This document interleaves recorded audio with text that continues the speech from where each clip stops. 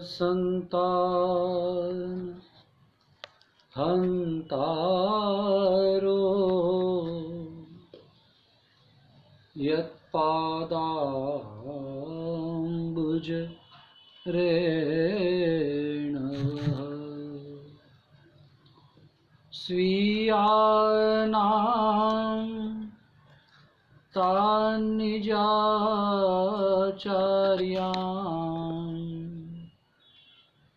प्रणमामि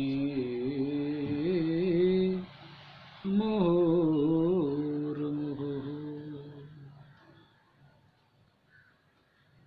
હું હરિનો હરિ છે મમ રક્ષક એહ ભરોસો જાય જે હરિ કરશે એ મમ હિતનો. જે હરિ કરશે એ મમ હિતનો. એ નિશ્ચય બદલાય.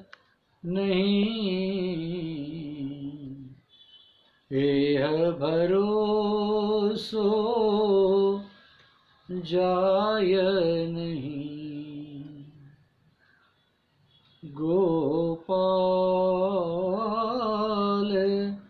રાધે કૃષ્ણ ગોવિંદ ગોવિંદ નમઃ આપ સૌને વંદન, આપ સૌને પ્રણામ.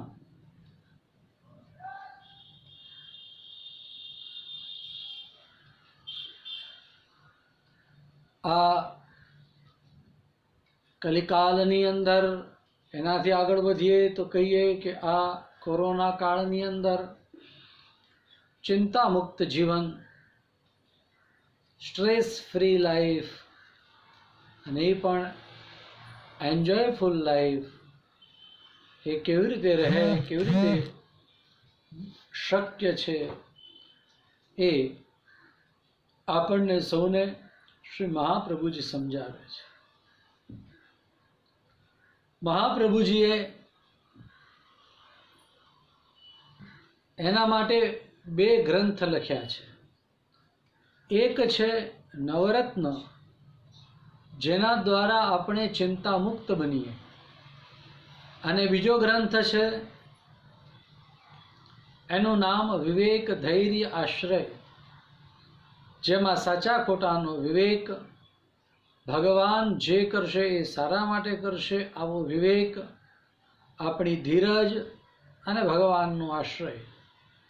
આની વાત આચાર્ય શ્રી મહાપ્રભુજી આપણને સૌને સમજાવે છે.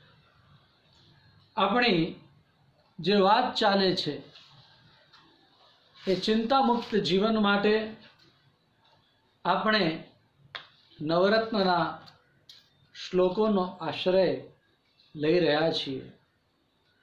ત્યારે પ્રથમ શ્લોક, જેની થોડીક વાતો ગઈકાલે આપણે જોઈ હતી, કે ચિંતા કાપી ન કાર્યા અને ચિંતા કદાપી ન કારિયા.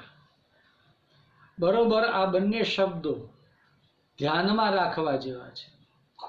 એક, ચિંતા કાપી ન કારિયા અને બીજી વાત, ચિંતા કદાપી ન કારિયા. આ એક જ શ્લોકમાં બે શબ્દો કયા છે, કાપી અને કદાપી. કાપીનો અર્થ છે કોઈ પણ પ્રકારની ચિંતા ન કરવી અને કદાપીનો અર્થ છે, ક્યારે પણ ન કરવી આ બંને વસ્તુ જો આપણે આપણા જીવનમાં ઉતારીએ, તો મોટા ભાગના ટેન્શન એ દૂર થઈ જાય. હવે પ્રશ્ન એવો છે કે કાપી એટલે કોઈ પણ પ્રકારની ન કરવી. અને બીજો પ્રશ્ન એ છે કે ક્યારે પણ ન કરવી. તો કયા કયા પ્રકારની ચિંતાઓ છે અને ક્યારે ક્યારે આપણને ચિંતાઓ થાય, એ જેમ જેમ આપણે સમજતા જઈશું, એનું સોલ્યુશન મહાપ્રભુજી આપણને બતાવતા રહેશે. એટલે પ્રથમ શ્લોકની વાત કરીએ, તો ચિંતા કાપી ન કાર્યા, નિવેદિતાત્મભિ કદાપીતિ ભગવાન અપી પુષ્ટિસ્થો ન કરિષ્યતિ લૌકિકીમ ચ ગતિમ આપણો બહુ મહત્વનો પોઈન્ટ જે મારે વાત કરવી છે આજે, એ છે નિવેદિતાત્મવિહી. જો હા, મહાપ્રભુજી વલ્લભાચાર્યજી સૌની ગેરંટી નથી લીધા આ ગેરંટી સૌની માટે નથી. યાદ રાખો ને ધ્યાનમાં રાખો. સૌની માટે નથી તો જેણે ભગવાનનું શરણું લીધું છે, જે ભગવાનનો અનન્ય થયો, જે ડિવોટેડ છે, જે સમર્પિત જીવ છે, એની માટે ગેરંટી. આ ગેરંટી માત્ર એની માટે જ છે કે જે ભગવાનને સમર્પિત છે. પ્રભુ માટે જે છે.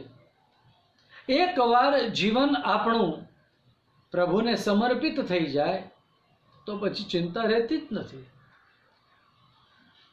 મુખ્ય વસ્તુ એવું છે, એવી છે કે આ સંસાર છે, એનો પ્રવાહ એ અસ્ખલિતપણે ચાલી જ રહ્યો છે. એ ડિસ્કનેક્ટ થતો જ નથી. કોન્સ્ટન્ટ ચાલુ છે. આ સંસારનો પ્રવાહ જે ચાલે છે, એમાં વ્યક્તિ જન્મે, મરે, ફરી પાછો જન્મે, મરે જન્મે, મરે, આ બધું ચાલુ જ રહે છે. પણ માત્ર અને માત્ર જન્મવું અને મરવું શું એ જ જીવન છે? પશવ કિમ ન જીવંતી? બસરા કિમ ને શ્વસંત્યુત? અરે ભાઈ, જો જન્મવું અને મરવું એટલું જ જીવન હોય, તો પશુઓ કેટલા બધા છે? એ લોકો જન્મે છે ને મરે છે. એ પણ આપણી જેમ ઢસરડા કરે છે. એ પણ આપણી જેમ આમ તેમ હવાતિયા મારે છે રોટલા માટે. એ પણ આમ તેમ ભાગે ભાગે છે. પ્રિયજનો, એનો અર્થ એવો છે કે પશુ અને આપણામાં કંઈક ફરક છે. પશુનું અનુસરણ ન થાય. હવે થોડા સમયની અંદર ચોમાસું બેસશે. મુંબઈમાં તો બે વરસાદ થઈ પણ ગયા, આપ સૌ જાણો છો. પણ ચોમાસું બેસે ને ત્યારે જીવાત થાય, અનેક પ્રકારના જીવડા થાય. કેટલાક તો આમ પાંખવાળા મકોડા જેવા થાય. આ બધી જીવાત છે એ માત્ર અને માત્ર બે ચાર કલાક માટે જ જન્મે અને બે ચાર કલાકમાં તો પાછું મરી જાય. તો શું આ જીવન છે? ભાઈ, બે ચાર કલાકની વાત નથી. કોઈ ચાર કલાક હોય તો કદાચ કોઈ સો વર્ષ જીવે. પણ એને એના ચાર કલાક દરમિયાન શું કર્યું? બોલે, કંઈ નહીં. જો કાંઈ ન કર્યું હોય, તો આપણું જીવન પણ એ જીવાત જેવું જ થયું ને. પેલી જીવાત પણ કાંઈ કરતી નથી. આપણે કંઈ કરતા નથી. અને ખાવું, પીવું ને મોજ કરવી જો આ જ જીવન હોય, તો ખાવા પીવા અને મોજ કરવાનું કામ તો પશુઓ પણ કરે છે. તો પશુઓ અને મનુષ્યોમાં ફરક શું? સુભાષિતકાર એમ કહે કે ધર્મો હિ તેષામ અધિકો વિશેષ. ધર્મેણ હીના, પશુભિ સમાના. આ ધર્મ છે, એ એક જ વસ્તુ એવી છે કે જે મનુષ્યની અંદર વિશેષ છે. બાકી આહાર, નિદ્રા, ભય અને મૈથુનમ આ દરેકની અંદર છે. કોનામાં નથી? આપણે ખાઈએ છીએ પશુઓ પણ ખાય છે. કદાચ આપણને એમ લાગે કે ભાઈ નહીં નહીં નહીં નહીં. આપણે બહુ વધારે સારું ખાઈએ છીએ એવું નથી. જે મજા આપણને સારી સારી મીઠાઈઓમાં અથવા તો જે લોકો ખાતા હોય એની માટે, કહું કે પીઝા બર્ગર કે જે કંઈ ફોરેન ફૂડ આવતું હોય, જે કોન્ટિનેન્ટલ ફૂડ કે જે પણ પ્રકારનું ફૂડ લોકો ખાતા હોય, એને એ ખાવામાં મજા આવે છે. એનાથી અનેક ગણી વધારે મજા પેલા ડુક્કરને ભૂંડને સુવરને ગંદકીની અંદર મોઢું નાખવામાં એને વધારે મજા આવે છે. આપણને ભાવતી વસ્તુ એની આગળ આપણે ધરીશું, તો એ ફેંકી દેશે. એને સામે જોશે પણ નહીં. તો પ્રિયજનો, થોડુંક સમજીએ કે મનુષ્ય અને પશુમાં ફરક શું છે? મનુષ્ય અને પશુઓમાં સૌથી મોટો ફરક છે, એનું નામ ધર્મ છે. ધર્મો હિ તેષામ અધિકો વિશેષ. તો આ પ્રવાહ સૃષ્ટિ જે સતત આ નદી વહે જ રાખે છે, એની અંદર અનેક જીવો છે, અનેક લોકો જન્મે છે. મહાપ્રભુજી બધાની ગેરંટી નથી લેતા. પણ જેણે ભગવાનને સમર્પણ કર્યું, ભગવાન પણ એમ કહે તેષામ અહમ સમુદ્ધરતા મૃત્યુ સંસાર સાગરાત, ભવામી નચિરાત પાર્થ મૈયાવેશિત ચેતસામ. ભગવદ્ ગીતાના બારમા અધ્યાયમાં કહ્યું છે ભગવાન કે તેષામ અહમ સમુદ્ધરતા. ભગવાન કે જો હું એ લોકોનો ઉદ્ધાર કરું છું. તો આ પ્રવાહ જે થઈ રહ્યો છે, દોડી રહ્યો છે, પ્રવાહ વેગથી પૂરપાટ ભાગી રહ્યો છે.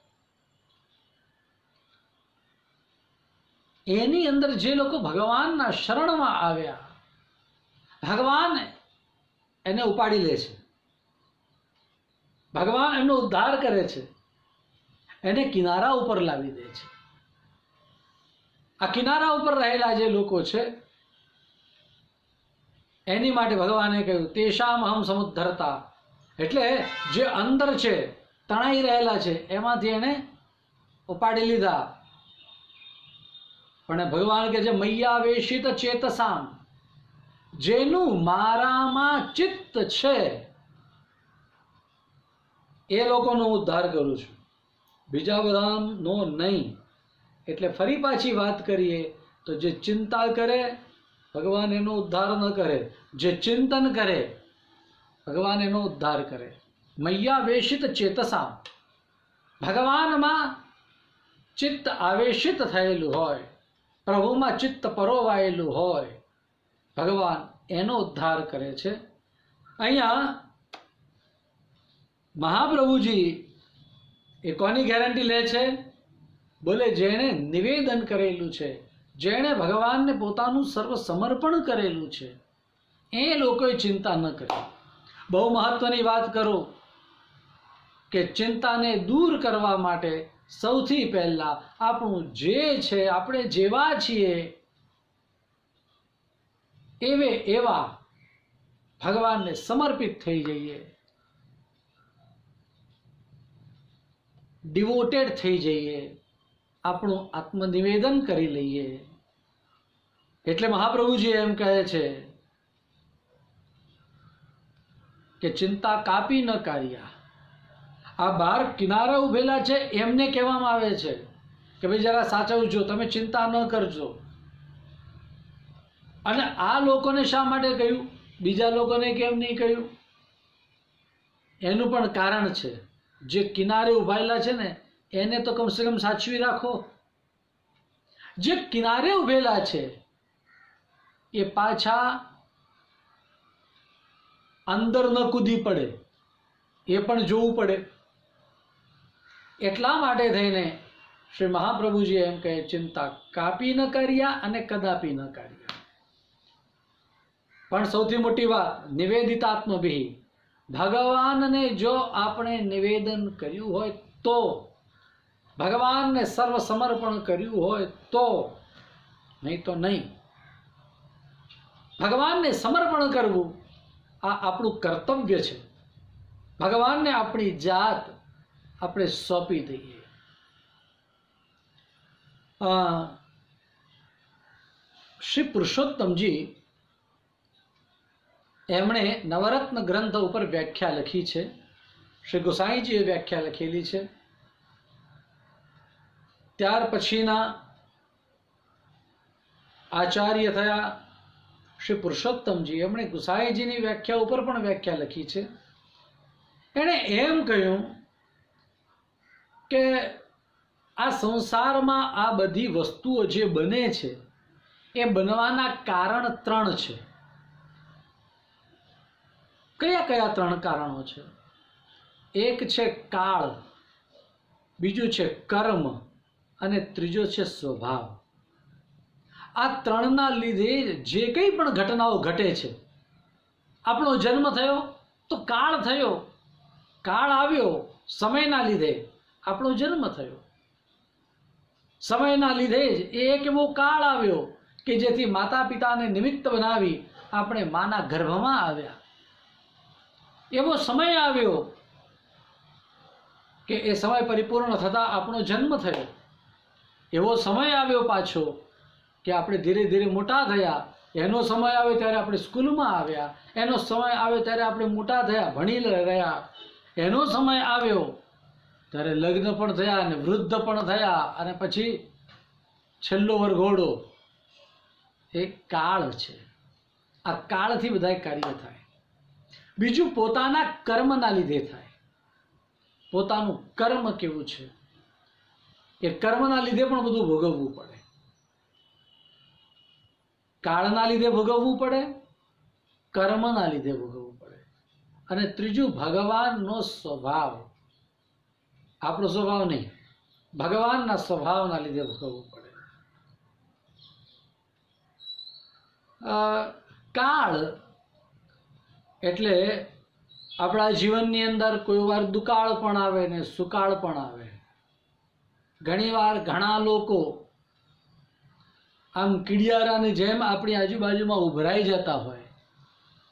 અને ઘણીવાર આપણને કોઈ એક ફોન કરીને પણ કેમ છો એમ ન પૂછે. આ છે કાળ. આ છે સમય. અને આ કાળ એ ભગવાનનું જ સ્વરૂપ છે. ભગવાને જેમ કે ભગવદ્ ગીતાની અંદર એમ કહ્યું કે કાલોસમી લોકક્ષયકૃત પ્રવૃદ્ધો. કાલોસ્મિ લોકક્ષયકૃત પ્રવૃદ્ધ. હું આ સકલ લોકોનો ક્ષય કરવા માટે હું આવ્યો છું. હું કાળ છું, ભગવાન કહે. તો સૌનો ક્ષય કરે છે એ ભગવાન? આપણો ક્ષય નથી કરતા? આ ક્ષય કોણ કરે છે? આ મારવાવાળું કોણ છે? આ મારવાવાળો પ્રભુ છે. આ જો આપણી સમજમાં આવે, તો પછી આપણે કોનો શોક કરીએ? કાળના લીધે જ આપણું અસ્તિત્વ છે. અને કાળના લીધે જ કોઈ પણ વ્યક્તિનું અસ્તિત્વ છે. કોઈ પણ વ્યક્તિ કાળનું અતિક્રમણ કરી જ ન શકે. જે પ્રમાણે નિશ્ચિત થયેલો છે કાળ, બધું એ પ્રમાણે જ ચાલે. આપણે કહીએ આમ થઈ જાય ને તેમ થઈ જાય, ભાઈ આ બધું શક્ય નથી. જે પ્રમાણે સમય ચાલતો એ પ્રમાણે ચાલે. એટલા માટે આપણે આપણી કે આપણા સ્વજનોની પણ ચિંતા ન કરવી દાખલા તરીકે કોઈ બીમાર થાય તો શું કરવાનું? અરે ભાઈ, એને દવા આપો. એને હોસ્પિટલ લઈ જાઓ. એની માટે દુઆ કરો. પણ ચિંતા તો નહીં કરો. ચિંતા કરવાથી મટી જશે. એટલે મહાપ્રભુજી આપણને આ સમજાવે કે જે વસ્તુ કાળથી થાય છે, એની તમે ચિંતા કરશો તો તમારી એ ચિંતા નષ્ટ નહીં થાય, પેલો બીમાર છે, સાજો નહીં થાય, ઉપરથી તમે બીમાર થઈ જશો. ખૂબ એકદમ નાની નાની વાતો આપણને આચાર્ય ચરણ વલ્લભ સમજાવી રહ્યા છે કે એમ કહે છે કે સમયના લીધે જે થયું છે, એની ચિંતા નહીં કરવી. કોઈ પણ પ્રકારે ચિંતા ન કરવી. શ્રી મહાપ્રભુજી એમ કહે કે સમજી લો, એટલે આ હું એક એક્ઝામ્પલ સમજાવું છું કે સમજી લો એ બીમાર થયું કોઈ વ્યક્તિ. આપણે દવા કરાવી, દુઆ કરી, બધું જ કર્યું અને ન બચ્યો. તો શું રડવાનું? અને આપણા રડવાથી એ ફરી પાછો જીવતો થઈને આવશે. ભાઈ, દવા કરવી, દુઆ કરવી, પણ ચિંતા ન કરવી. જો પ્રભુની ઈચ્છા હશે, તો એ સો ટકા જીવશે અને પ્રભુની જ ઈચ્છા હશે, તો એ નહીં જ રહે. પથિચ્યુતમ તિષ્ઠતિ દિષ્ટરક્ષિતમ, અરક્ષિતમ દૈવહતમ વિનશ્યતિ, સુરક્ષિતમ દૈવહતમ વિનશ્યતિ. જેની આપણે સતત સુરક્ષા કરીશું. અનેક ગણા ડૉક્ટરની આખી ટીમ એની આજુબાજુમાં લાગેલી હશે. અનેક નર્સેસ હશે. ઘણા બધા સેવા કરવાવાળા હશે. પણ તેમ છતાંય ભગવાન ઈચ્છશે ત્યાં સુધી જ એ જીવશે. એકવાર એવું થયું, મને કોઈએ કહ્યું કે આમ તો પંદર દિવસ પહેલાં ફલાણા ભાઈ મરી જવાના હતા, પણ એ તો સારું થયું. હોસ્પિટલમાં લઈ ગયા, પંદર દિવસ રાખ્યા, પંદર દિવસ બહુ સારી ટ્રીટમેન્ટ આપી. તો પંદર દિવસ એમણે કાઢ્યા. અરે ભાઈ તો પંદર દિવસ સારી ટ્રીટમેન્ટ આપી પંદર દિવસ પછી સારી ટ્રીટમેન્ટ કેમ બંધ કરી દીધી? ભાઈ, પંદર દિવસ પછી એને સારી ટ્રીટમેન્ટ બંધ નથી કરી. ટ્રીટમેન્ટ ઇઝ ધ સેમ પણ ભગવાનની ઈચ્છા એ સર્વોપરી છે. આ તો ભગવાનને ખબર છે, તારી પાસે એટલો ખર્ચો કરાવવો છે અને તને હજુ આટલા ઇન્જેક્શન લેવડાવવા છે, એટલે ભગવાન પોતે જ નક્કી કરે. પંદર દિવસ પહેલાં એવો ઝટકો આપે અને પછી લઈ જાઓ હોસ્પિટલમાં. પંદર દિવસ સારી રીતે તમે રહો. ભગવાનને ખબર છે કે પંદર દિવસ જ એને મારે રાખવું છે. તો ભગવાનની ઈચ્છા નહીં હોય, તો ગમે એટલા વળખા મારશો તો પણ કંઈ નહીં થાય. આરક્ષિતમ તિષ્ઠતિ દિષ્ટરક્ષિતમ, અથવા પછિત્યુત પથિચ્યુતમ તિષ્ઠતિ દિષ્ટરક્ષિતમ. ભાગવતના સાતમા સ્કંધના પહેલા જ અધ્યાયમાં. આ બધી વાતો છે. બીજા અધ્યાયની અંદર પણ આ બધી વાતો છે. એમાં હિરણ્યકશિપુ પોતાની મા દીતીને ઉપદેશ આપે છે. જોરદાર છે. ખૂબ સુંદર છે. એને વાંચીએ, એને આપણે સાંભળીએ, તો એમ લાગે કે આ હિરણ્યકશિપુ કેવો તત્વજ્ઞાની માણસ હશે. કેટલું બધું કે છે. ઓહ, એવી સરસ વાતો છે. તો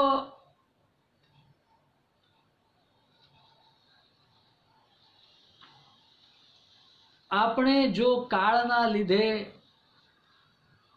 તકલીફમાં આવેલા બીજાની પણ ચિંતા કરીશું, તો એમાં ક્યારે આપણે વિધાઈ જશું? એ કહેવાય નહીં. હું હમણાં તમને હિરણ્યકશિપુની વાત કરતો હતો. આ જ હિરણ્યકશિપુની વાત હજુ એક બીજી સરસ વાત કરું. આ હિરણ્યકશિપુ પોતાની માતા, પોતાનો મોટો ભાઈ હિરણ્યાક્ષ અને એની પત્ની, આ બધા જ કે પોતાના સગાવાલા હતા. આ બધાની આગળ બેઠો છે અને બધાને સમજાવે છે કે તમે ચિંતા નહીં કરો. લે, આ રાક્ષસ આપણને સમજાવે કે તમે ચિંતા નહીં કરો. એમ કરીને બહુ સરસ એક સ્ટોરી કહે છે. ખૂબ સરસ એક ચકલા ચકલીની સ્ટોરી કહે છે સાતમો સ્કંદ પ્રથમ પ્રકરણ એકવાર વાંચજો તો ખ્યાલ આવે क्या बहुत बढ़िया बात बताई है ઉષી નરેશની વાત કરી છે સુયજ્ઞ રાજાની વાત કરી છે અને આ હિરણ્ય કશિપુ એમ કહે ચકલા ચકલીની વાત માળો બનાવીને રહેતા હતા ચકલો ચકલી એના બાળકો બચ્ચાઓ એના માળાની અંદર હતા. આ ચકલો ચકલી પોતાના બાળકો સાથે અને એમાં પણ બન્યું એવું કે કોઈ પારધી આવ્યો, પારધીની જાળમાં ચકલા ચકલીના બચ્ચા હતા એ ફસાયા. અને ચકલી એમ કે, અરે રે મારા બચ્ચા મારા બચ્ચા મારા બચ્ચા. એમ કરીને એ પણ એની અંદર પડી. અને હવે ચકલાનો વારો. ચકલો મારી ચકલી, મારી ગ્રહલક્ષ્મી, મારી પત્ની મારી પત્ની એ માળા કરતો હતો. મારા બચ્ચા આમ હજુ વિચાર કરે છે. એણે પોતાની જાત અંદર નાખી નથી. હજુ એમ વિચારમાં છે એનું ચિંતન છે, હજુ પેલી ચકલી, ચકી ચકાના બચ્ચા, એ બધા હજુ નીચે જાળમાં ફસાયેલા છે, જીવતા છે, એ એકદમ જીવી રહ્યા છે. અને એ સમયે પેલો જે પારધી હતો, એણે જોયું અને ત્યાંથી એણે બાણ માર્યું. આ ચકલો વિંધાઈ ગયો. ચકલી હજુ જીવતી છે. એટલે જેમાં આપણું મન આસક્ત છે, જેની ચિંતામાં છીએ. અરે ભાઈ વ્યર્થ ચિંતા કરો છો ને? જેની આપણે ચિંતા કરીએ છીએ એ કદાચ એમનું એમ રહી જાય. અને ચિંતા કરવાવાળો વહેલા ઉકલી જાય. માટે પણ ચિંતા ન કરવી. કાપી ન કાર્યા અને કદાપી ન કાર્યા બસ આવી જ એક કથા ભાગવતના અગિયારમા સ્કંધમાં પણ આવે છે. જેમાં ભગવાન કૃષ્ણ ઉદ્ધવજીને ઉપદેશ આપતા પોતાના પૂર્વજ શ્રી યદુ મહારાજની વાત કહે કે યદુ મહારાજને દત્તાત્રેય પ્રભુએ, અહીંયા તો દત્તાત્રેય એવો શબ્દ નથી, એમાં એમ કહ્યું છે કે બ્રાહ્મણે આવો ઉપદેશ આપ્યો કે મેં મારા ચોવીસ ગુરુ કર્યા. આ ચોવીસ ગુરુઓની અંદર એક ગુરુ આવે છે કપોત, એટલે કબૂતર. આ કબૂતર અને કબૂતરીની કથા આવી જ છે, ચકલા ચકલીની જેવી જ. પણ એમાં એવું થાય છે કે પેલા કબૂતર અને કબૂતરી, આ બંને જણા જાળમાં ફસાયેલા બચ્ચાને જોઈને એ પણ એની અંદર જાય છે અને ત્યારે એમ કહે કે આવી આસક્તિ ન કરવી. જ્યારે અહીંયા હિરણ્યકશિપુ એમ સમજાવે છે કે આવી ચિંતા ન કરવી. આપણે ચિંતા કોઈકની કરીએ. અરે રે, પેલો સાજો થશે કે નહીં? સાજો થશે કે નહીં? સાજો થશે કે નહીં? એને તો આવી બીમારી છે. એની ચિંતામાં ને ચિંતામાં કદાચ એ સાજો થઈ જાય. અને આની ચિંતા કરતાં કરતાં કરતાં કદાચ આપણે બીમાર થઈ જઈએ. માટે ચિંતા ન કરવી. ચિંતા કાપી ન કર્યા અને કદાપી ન કર્યા. ખૂબ સરસ. આ વાત નોટ કરી રાખવા જેવી છે. એક ગુજરાતીની અંદર ભજન. કઠણ ચોટ છે કાળની રે મરણ મોટેરો માર. કંઈક રાજા અને કંઈક રાજવી છોડી ચાલ્યા ઘરબાર. હે તે હરિનો રસ પીજીએ આમાં બહુ સરસ વાત કરે. માળી વીડે છે રૂડા ફૂલડાને કળીઓ, કરે છે વિચાર. આજનો દિવસ રળિયામણો. કાલે આપણા હાલ જો હે તે હરિનો રસ પીજીએ એમાં ધીરો નામનો ભગત, ધીરો ભગત એમ લખે, દાસ ધીરો રમે રંગમાં. અને એ શું કહે છે? કે મરનારાને તમે શું રડો? શું કહે છે? મરનારાને તમે શું રડો છો? નથી, રોનારો રહેનાર જે રડે છે, એ રહેવા વાળો છે, એ પણ રહેવાનો નથી. માટે બરોબર સાવધાન કરે મહાપ્રભુજી અને કહે, ચિંતા કાપી ન કર્યા અને કદાપી કદાપી એટલે કોઈ પણ પરિસ્થિતિની અંદર. આપણે ચિંતા ન કરવી જોઈએ. આ વાત મહાપ્રભુજી આપણને સમજાવે છે. એટલે ચિંતાઓ, એ તો નેવર એન્ડિંગ ટોપિક છે. ચિંતાની ચિંતા છોડી અને ચિત્તને ચિંતનમાં પરવો આ મહાપ્રભુજીનો મેસેજ છે. એટલે આપણી વાત ચાલતી હતી એક કાળથી, બીજી કર્મથી અને ત્રીજી સ્વભાવથી. બધી ઘટનાઓ ઘટે છે. સમય આવ્યો અને મરણ આવ્યું. સમય આવ્યો અને બીમારી આવી. ઘણીવાર લોકો એમ કે ભાઈ હજુ તો આ મરવાના લાયક અથવા મરવાની ઉંમરનો થયો પણ નહોતો. એ પહેલાં એનું મૃત્યુ આવી ગયું.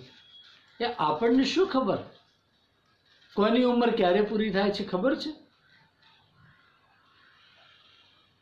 એ આપણને ખબર નથી. એ ઈશ્વરને ખબર છે. પણ એ થાય છે કાળના લીધે. બીજું કરવાવાળું જે મુખ્ય ઘટક છે, એનું નામ છે કર્મ. આપણા કર્મના લીધે પણ થાય. તો ઘણી બધી વાર આપણે દુઃખ ભોગવતા હોઈએ. ત્યારે એમ સમજી લેવાનું કે આ મારું કર્મ છે એટલે મારે ભોગવવું પડે છે. આ કર્મને ભોગવવા, ભોગવ્યા વગર છૂટકો જ નથી. પ્રારબ્ધ કર્મણામ ભોગાદેવ ક્ષય આમ કહેલું છે. ભોગવવું જ પડશે. કર્મ છે. તો એના માટે ચિંતા શા માટે કરવાની? એક વ્યક્તિ એણે કોઈ એવું પાપ કર્યું. એને બે વર્ષની જેલ થઈ. એ અંદર ગયો અને રોજ રોજ રોજ દિવસો ગણવા લાગ્યો. અરે રે, હજુ મારે એક વર્ષ અને ત્રણસો દિવસ બાકી, એક વર્ષ બસો ને નવ્વાણું દિવસ બાકી, બસો ને અઠ્ઠાણું દિવસ બાકી, એક વર્ષને ઉપર બસો ને પંચાણું દિવસ એમ કરતાં કરતાં હજુ એક વર્ષ બાકી, હજુ સો દિવસ બાકી, હજુ નવ્વાણું દિવસ બાકી. તમે સતત સતત સતત આવી ગણતરી કરો, તો શું તમે વહેલા મુક્ત થઈ જશો?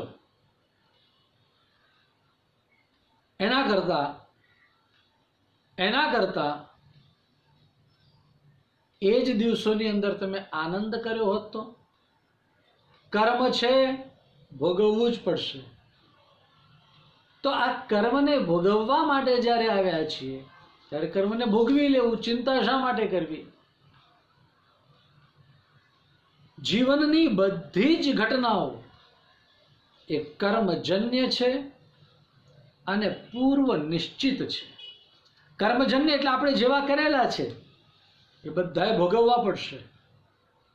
હજુ કરીએ છીએ તો એ પણ ભોગવવા પડશે. એટલે કર્મજન્ય છે. અને બીજું પૂર્વ નિશ્ચિત છે. એટલે આ રાઇટેડ સ્ક્રિપ્ટ છે. લખેલી પહેલા પૂર્વમાં રિટર્ન થયેલી એટલે લખાયેલી આ સ્ક્રિપ્ટ છે. આપણે ધારીએ તો પણ એને ચેન્જ નહીં કરી શકીએ. જે કર્મ આપણે કર્યા છે, એને તો ભોગવે જ છૂટકો. તો એમાં સમજી લો કે દરેક પોત પોતાનું કર્મ ભોગવે છે, તો એની ચિંતા કર્યાથી આપણું શું વળશે? સમજી લો કે કોઈ વ્યક્તિ દુઃખી છે તો એની ચિંતા કરવાથી આપણું શું વળશે યાદ રાખો, કોઈ દુઃખી હોય તો આપણે એની ચિંતા ન કરાય, એને મદદ કરાય, એની સેવા કરાય, એની ચિંતા ન કરાય. બરાબર? ધ્યાનમાં રહે આ વાત. મુખ્ય વાત એ કહેવી છે કે આપણે ચિંતા ન કરવી. કાપી ન કર્યા અને કદાપી ન કર્યા બીજી વાત, જો આ ઘટનાઓ બધી જીવનમાં ઘટવાની જ છે, આપણે બધું ભોગવવાનું જ છે, તો પછી હસતા હસતા કેમ નહીં? પછી શાના માટે રડવું, કોના માટે રડવું? તત્ર કશો કહા કોમોહ. એકચ્યુઅલી આ સૂત્ર તો ઈશાવાસ્યમનું છે. એમાં તો એમ કહ્યું છે કે જ્યારે પરમાત્માના દર્શન થાય ને બધું જ જ્યારે એક છે એમ બધું દેખાય, ત્યારની વાત કરી, તત્ર કશો કહા કો મોહા એકત્વ અનુપશ્યતા. પણ અહીંયા જે મારે વાત કરી છે, એની માટે મેં આ શબ્દ કહ્યો, કશોકઃ, કોમોહ, કે આપણે ચિંતા કરતા કરતા જીવવાનો કોઈ અર્થ નથી. કોઈ દુઃખી છે, તો એની મદદ કરો, એને હેલ્પ કરો, એના માટે સાવધાન થાઓ, એની માટે સાવધાન રહો. બીજો કોઈ વ્યક્તિ પણ આપણને પ્રતિકૂળ હોય કે અનુકૂળ હોય, યાદ રાખવાનું કે આપણે ભોગવવાનું જ છે તો હસીને ભોગવી લેવું. ઘણીવાર પરિવારમાં એવું બને, કોઈ કોઈને પતિ સાથે ન બને, પત્ની સાથે ન બને, દીકરા સાથે ન બને, ભાઈ સાથે ન બને મિત્ર સાથે ન બને. બીજા ઘણા એવા લોકો છે, એની સાથે આપણે ન બને. એ આપણી સાથે જ રહે છે. પણ પ્રતિકૂળ છે, અનુકૂળ નથી. તો શું કરવું? તો પછી મોઢું ચડાવીને ન જીવવું. એમની સાથે રહીએ છીએ, કર્મ ભોગવવાનું જ છે. તો હસતા હસતા જીવવું, હસતા હસતા રહેવું અને એમ જ જીવન પસાર કરવું. હંમેશા યાદ રાખીએ કે જે ભગવાનનો ભક્ત છે, એ ભગવાનનો ભક્ત ક્યારે ભગવાનને એમ પ્રાર્થના કરતો નથી કે પ્રભુ તું મારું દુઃખ લઈ લે. તું મારું ભાગ્ય છે, હવે સારું કરી નાખ. આ કુભાગ્ય છે, તેનું સૌભાગ્ય કરી નાખ. આવું ભક્ત પ્રાર્થના ન કરે. ભક્તની પ્રાર્થના હોય તો પણ એમ જ કે પ્રભુ તમારે બદલવું હોય તો મારું ભાગ્ય નહીં બદલો. પણ મને આ સહન કરવાની શક્તિ આપો. તમે જે કરશો એ મને મંજૂર છે. મને ખબર છે કે તમે મારા માટે કરશો. માટે મને તમે જે કરશો એ હંડ્રેડ પર્સન્ટ મંજૂર છે. પરંતુ છતાંય પ્રભુ, તમને એમાં મજા છે ને જિસમે તેરી રજા હે હા અમને મજા શેમાં છે જેમાં તને મજા છે એમાં જ અમારી મજા છે એટલા માટે પ્રભુ ભાગ્યને ભોગવવા માટે અમને શક્તિ આપજો અમારું ભાગ્ય જે છે ને એ અમારે કંઈ બહુ બદલવાની ઈચ્છા નથી તે જે રીતે લખ્યું છે તને જેમાં મોજ આવે એમ તું કરી લે અને અમારે પણ અમારું જીવન મોજથી કાઢવું છે. એટલે પહેલી વાત આપણે જોઈ કાળ, બીજી વસ્તુ છે કર્મ. આ કર્મ એ પોતાના સ્વભાવથી જ એનું ફળ આપે છે. પછી આ વ્યક્તિ કોઈ રાજસ પ્રકૃતિનો હોય, કોઈ સાત્વિક પ્રકૃતિનો હોય કે કોઈ અતિ તામસ પ્રકૃતિનો પણ હોય. આ સ્વભાવના લીધે પણ માણસ દુઃખી થાય. દરેકના સ્વભાવ અલગ અલગ છે. આ કર્મ એના સ્વભાવથી એવું કરે. દુર્યોધનને એમ પૂછ્યું કે, તને ખબર નથી તું કરે છે? આ બધું ખોટું કરે છે? તને કેમ લાગે છે? દુર્યોધન કે, મને ખબર છે. હું ખોટું કરું છું. અરે ભાઈ, તો ખોટું કામ મૂકી દે ને. દુર્યોધન એમ કહે કે હું જાણું છું, હું ખોટું કરું છું, અને છતાં હું ખોટું છોડી શકતો નથી. જાનામી ધર્મમ ન ચ પ્રવૃત્તિ. જાનામી અધર્મમ ન ચ નિવૃત્તિ. દુર્યોધન શું કહે? હું ધર્મને જાણું છું, છતાંય મારી એમાં પ્રવૃત્તિ નથી. અને હું અધર્મ જાણું છું છતાં હું એને છોડી નથી શકતો. કેનાપી દેવેન હૃદય સ્થિતેન યથા નિયુક્તોસ્મિ તથા કરો ખબર નહીં મારો સ્વભાવ જ આવો છે. મને જેમ અંદરથી પ્રેરણા થાય છે, હું એમ જ કરું છું. આ સ્વભાવ છે એનો. આ સ્વભાવવશ પણ માણસ ખોટું કરતો હોય. ભાગવતજીના અગિયારમા સ્કંધમાં એક અજગર ઋષિ સાથે પ્રહલાદજીનો સંવાદ આવે છે. આ આજગરી વૃત્તિ સાથે આ ઋષિ પડેલા છે. એકદમ પોતાની મસ્તીમાં છે, મોજમાં છે. ન ખાવા પીવાની ચિંતા કે ન કોઈ સંસારની ચિંતા. પ્રહલાદજી પ્રણામ કરીને પૂછે અને કહે કે મહારાજ, મને એમ કહો ને કે આટલા મસ્તીથી તમારું જીવન કેવી રીતે વીતે છે? કોઈ પ્રકારની ચિંતા નથી. આટલા બધા તમે પ્રસન્ન રહી કેવી રીતે શકો?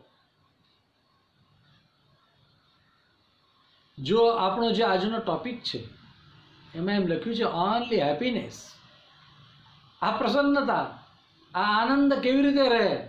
એના પણ કારણો આની અંદર આવી રહ્યા છે. પ્રિયજનો પ્રહલાદજી આ જ્યારે પ્રશ્ન કર્યો અને ત્યારે જે અજગર મુનિ હતા અજગર મુનિ, એમને શું કહે? કે એમ કહે છે, નાહમ નિંદે, નચસ્તૌમી, સ્વભાવ વિષમમ જનમ.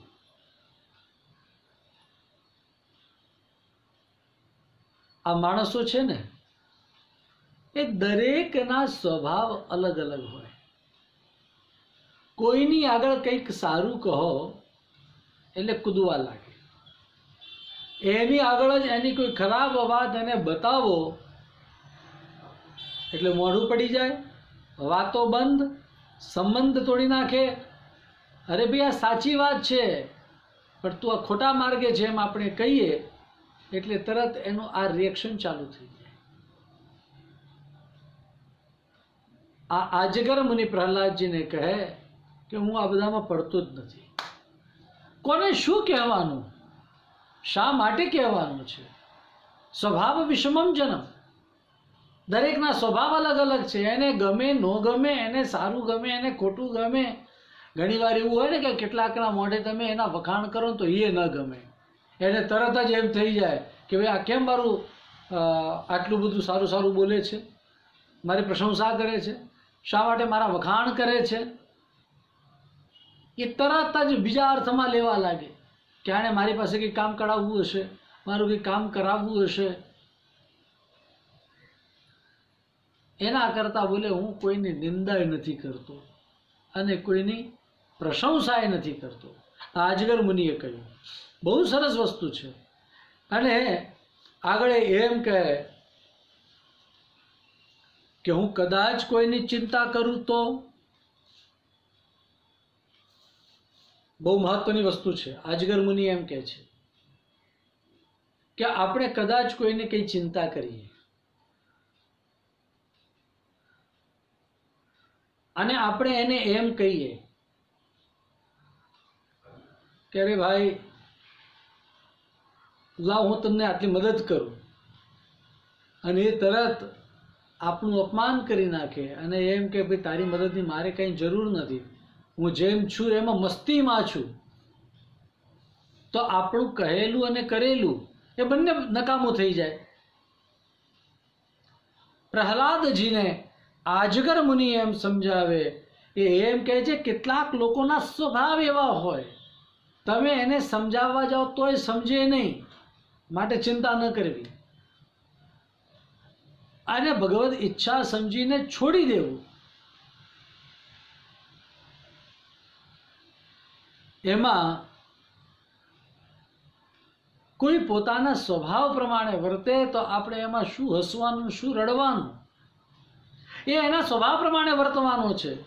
ગુજરાતીમાં એક કહેવત છે, કૂતરાની પૂંછડી. એ ગમે એટલા સમય ગમે એમ તમે રાખો, તોય છેવટે તો વાંકી તો વાંકી જ રહેવાની. એમ કેટલાકના સ્વભાવ એવા હોય, તમે નહીં સુધારી શકો. આજ પોતાના કર્મના વશમાં થઈને આ વ્યક્તિ એ કદાચ આપણી નજીકમાં આવ્યો છે, આપણી સાથે આવ્યો છે. પણ એનો વિષમ સ્વભાવ છે, એને તમે નહીં સુધારી શકો, એને નહીં સમજાવી શકો, માટે એની ચિંતા પણ ન કરવી.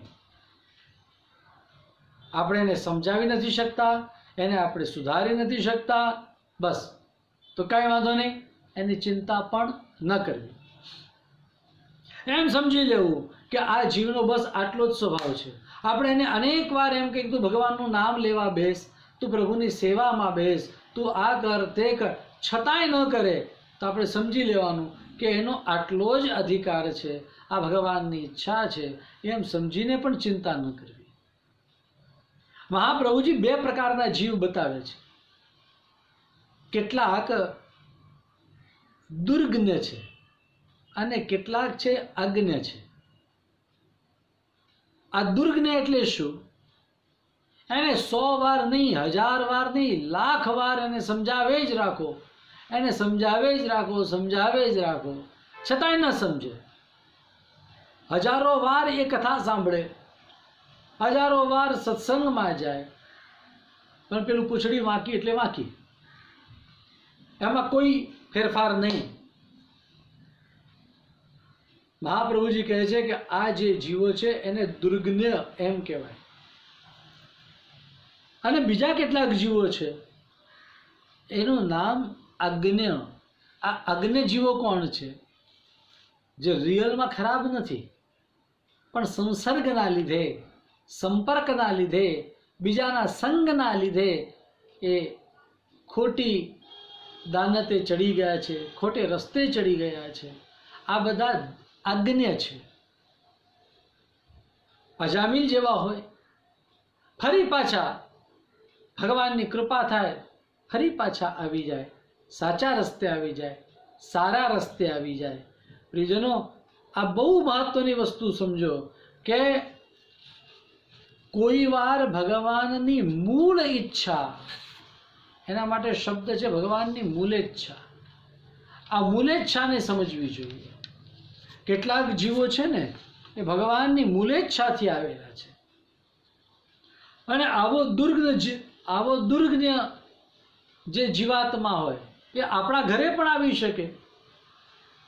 આપણો દીકરો બનીને આવે, આપણો ભાઈ બનીને આવે, આપણો કંઈકનો કંઈક સગો બનીને આ જીવ આવે. એને સમજાવી સમજાવીને તૂટી જાવ, નહીં થાય. એના લક્ષણથી જ આપણને સમજાય કે આ દૈવી જીવ છે આસુરી જીવ છે, કે પછી મિશ્ર જીવ છે. હવે સમજી લો કે આસુરી હોય, એ સમજવાનું નથી જ નથી, તો એને એના ભાગ્ય ઉપર છોડી દેવાનું. એની ચિંતા ન કરવી. અરે ભગવાન, આનું શું થશે, આનું શું થશે, આનું શું થશે? આ આપણે નહીં કરવું. ભગવાનના ભરોસે છોડી દો એને. અને કદાચ આપણે એની ચિંતા કરશું, તો વળશે શું? એની ચિંતા કરવાથી પેલો વ્યક્તિ સુધરી જશે? હા? નહીં ને જો ન સુધરવાનો હોય, તો ચિંતા શા માટે કરવી? પ્રિયજનો, ચિંતા છે ને એ બે રીતે થાય. એક, આસક્તિથી ચિંતા થાય છે અને બીજી ચિંતા છે એ આપણા પ્રભુ ઉપરના અવિશ્વાસના લીધે થાય. આઈ રિપીટ એક, આસક્તિના લીધે ચિંતા થાય અને બીજું, ભગવાન પર અવિશ્વાસ. આ અવિશ્વાસના લીધે ચિંતા થાય. હવે આસક્તિની વાત તો આપણે ઘણી બધી કરી. પણ પ્રભુ પરના અવિશ્વાસ, જો કે હું વૈષ્ણવોની વાત કરું, અથવા જેણે ભગવાનને પોતાનું સર્વ સમર્પણ કર્યું છે, એની વાત કરું, તો એની માટે આ બંનેમાંથી એકેય ચીજ એને શોભતી નથી. ન આસક્તિ શોભે કે ન ભગવાનમાં અવિશ્વાસ શોભે. હવે આપણે જ્યારે ભગવાનને નિવેદન કર્યું, ભગવાનને કહ્યું કે પ્રભુ, હું તારો છું, તો આ તમે દિલથી બોલ્યા કે માત્ર દિમાગથી બોલ્યા? આ તમે મૂળથી બોલ્યા કે મુખથી બોલ્યા? આ તમે મનથી બોલ્યા કે મસ્તકથી બોલ્યા? આ તમે જીભથી બોલ્યા કે જીવતરથી બોલ્યા? બહુ મહત્વની વસ્તુ છે. જે દિલથી બોલ્યા હો મૂળથી બોલ્યા હો જીવતરથી બોલ્યા હો મનથી બોલ્યા હો તો એને આસક્તિ થાય જ નહીં. એણે નક્કી કરી દીધું કે આ બધું જ ભગવાનનું છે. સમજી લો કે આવું જ્યારે તમે નક્કી કર્યું કે આ બધું ભગવાનનું છે. તો પછી આસક્તિ રહી જ ક્યાં? આપણી અહંતા અને મમતા એ તો ભગવાનને સોંપી દીધું. એ રહી જ નહીં કંઈ. એટલા માટે મહાપ્રભુજી આપણને બતાવે, આસક્તિ રહિત બનવાનું અને ભગવાનમાં વિશ્વાસ વાળા બનવાનું. મહાપ્રભુજી યાદ કરાવે છે આપણને. યાદ કરતું તારું નિવેદનમ નિવેદનમ તું સ્મર્તવ્યમ તું યાદ કર જ્યાં સુધી તું સમર્પિત છે ત્યાં સુધી તારે ચિંતા કરવાની જરૂર નથી એમાંથી સેજ પણ પતિત થયો ભગવાનનું સમર્પણ ચૂક્યો, એટલે તું લપસ્યો ચિંતાની ખાઈમાં। અને એટલી ઊંડી ખાઈ છે કે ત્યાં પછી કોઈ નહીં બચાવી શકે। એટલે વિશ્વાસ આ વિશ્વાસ બહુ મહત્ત્વની વસ્તુ છે. આપણે ઘણીવાર કોઈને કામ સોંપ્યું હોય, પણ એના ઉપર અવિશ્વાસ આવે ને, તો આપણે પાછું સોંપેલું કામ હોય ને પાછું લઈ લઈએ ભાઈ, તું રહેવા દે, હું આ કામ બીજાને સોંપી દઈશ. કારણ કારણ એ વ્યક્તિ છે એ આ કામ નહીં કરી શકે એવું આપણને ખબર પડે. એના સામર્થ્ય ઉપર આપણને અવિશ્વાસ છે. એના સામર્થ્ય ઉપર આપણને અવિશ્વાસ છે અને માટે આપણે એનું કામ દીધેલું કામ પાછું લઈ લઈએ છીએ. તો શું ભગવાન ઉપર પણ આવો અવિશ્વાસ છે? ભગવાનની ઉપર અવિશ્વાસ તો નથી ને? અરે, ભગવાનના સામર્થ્ય ઉપર અવિશ્વાસ છે. પ્રભુ સર્વસમર્થો હિ તતો નિશ્ચિંતતામ રજે મહાપ્રભુજી એમ કહે છે ભગવાન સર્વ સમર્થ છે એટલે ચિંતા નહીં કરો। આ મહાપ્રભુજી આપણને સમજાવે છે। એટલે ભગવાનમાં તો અવિશ્વાસ ન જ હોય અને ન જ હોવો જોઈએ। આ ઉપરાંત કાળ, કર્મ અને ત્રીજી વસ્તુ છે સ્વભાવ। સ્વભાવ એટલે ભગવાનનો સ્વભાવ।